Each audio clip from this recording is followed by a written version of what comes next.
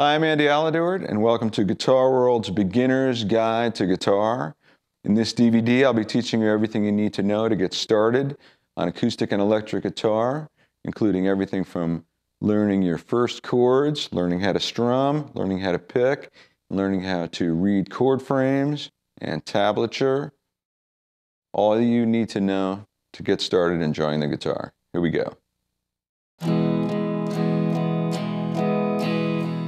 One and two and three and four and. All right, now let's bring our scales back into play and we'll do a couple scale steadies.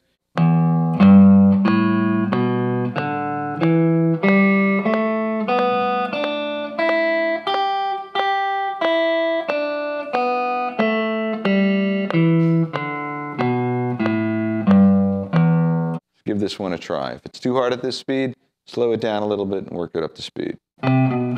All